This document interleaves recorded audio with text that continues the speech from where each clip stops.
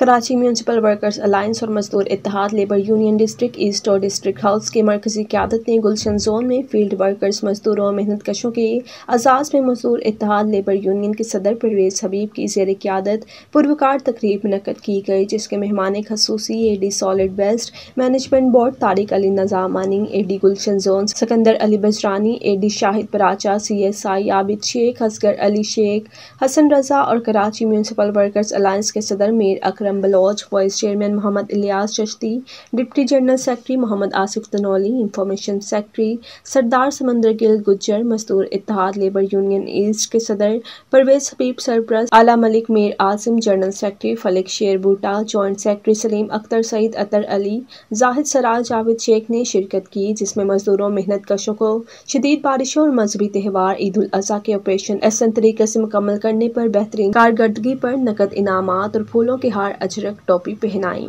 मकर्रीन ने अपने खिताब में फ़ील्ड वर्कर्स और मजदूरों, मेहनत कशों को जंगी बुनियादों पर शहर कायद को साफ़ करने पर ज़बरदस्त खराज तहसीन और मुबारकबाद पेश की। यूनिस अहदेदारों ने मुलाजमीन को उनका पूरा हक न मिलने पर अपने तहफात का इजहार भी किया और इंतज़ामिया से मुतालबा किया कि मजदूरों, मेहनत कशों को उनका पूरा पूरा हक दिया जाए ताकि फ़ील्ड में काम करने वाले मुलाजमीन अपने काम में मजीद बेहतरी लाए। A D solid waste Tariq Ali Nizamani ने मजदूरों और मेहनत कशों को दरपेश मसाइल और मुश्किल तहफ़ात जंगी बुनियादों पर हल करवाने का वादा भी किया और कहा कि बहुत जल्द मुलाजमीन को अफिल की अदायगी को यकीनी बनाया जाएगा। प्रोग्राम में मुलाजमीन, मजदूरों और वर्कर्स की बड़ी तादाद ने शिरकत की। इसके अलावा डिस्ट्रिक्ट साउथ से भी दर्जनों वर्करों ने शिरकत की, जिनमें मोहम्मद इकबाल, दोस्त मोहम्मद नूर हसन तनवीर, अहमद अलिफदीन सईद वली, मासूद आज़म, मास्टर साजिद अब्दुल कयूम, मोहम्मद नज़ीर, अब्दुल जबार बलोच और दीगर शामिल थे।